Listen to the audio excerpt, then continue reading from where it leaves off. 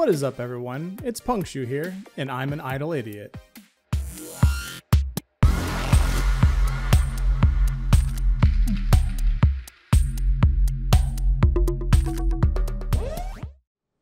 Today, I wanted to talk to you guys about a little game called NGU Idle.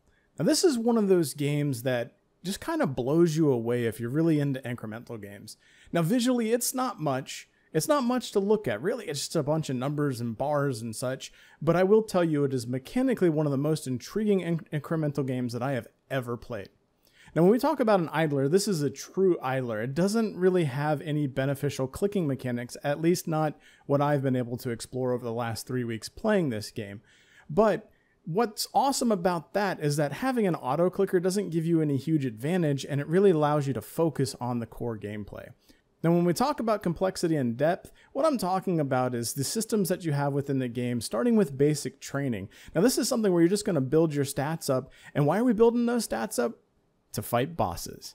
Now, when we're fighting these bosses, it's pretty amazing because it goes up in levels, and these bosses have some pretty crazy little like tidbits of story that go along with them. And I would definitely encourage any of you guys trying this game out to read that and and really get a, a sense of the silliness of this game.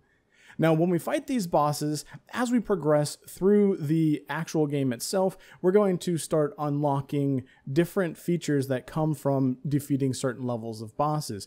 And one of the cool things that I find with this game is the adventure mode, and that's something that you're going to unlock uh, fairly early in the game. And what that allows you to do is essentially you've got an adventurer that you can equip that ends up running like these separate types of bosses and dungeons by himself but you get gear, which is pretty crazy, something I don't think we've ever really seen in an incremental before.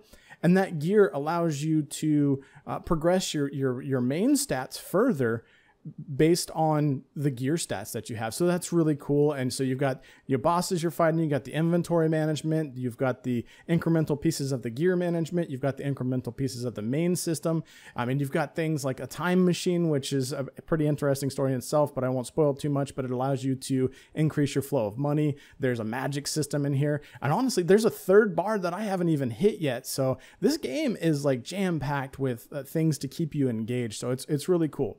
So what's what's the end like what's the product what makes this incremental like every other incremental in the sense of restarting well it's the rebirth system so every time you rebirth you're going to increase your number and doing certain things within the game, whether it be time, unlocking certain things, using your blood magic, uh, killing certain bosses, uh, uh doing certain achievements. It's going to increase your number, and number is an actual thing. So uh, one of the one of the things that you want to look at here is going to be your rebirth menu, and you'll see here that number is basically your multiplier, your core multiplier. And the crazy thing is, I've never really seen this before, but your number can go backwards depending on your circumstances. So, depending on how quickly you rebirth without having any progression. So it's pretty cool. Uh, you are doing all this, you're gaining experience. Experience is spent to increase your base stats. It's used to increase your energy regen, your your uh, your blood magic regen, things like that. So there's a lot you can do with the XP in this game, and it's just,